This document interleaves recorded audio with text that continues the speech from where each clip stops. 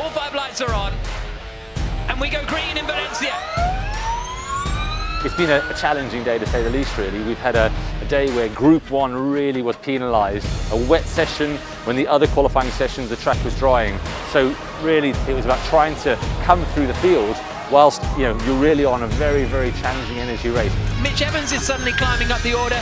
I think Mitch Evans could be in with uh, a shout of some points here. We really tried hard here. Um, we were right on the fringes of the top 10 but unfortunately the ask to come from the back to the front on such an energy focused track was ultimately probably a step too far for us today. But we'll learn from that, we'll take it away and the team already will be really motivated to get back to racing in what's going to be a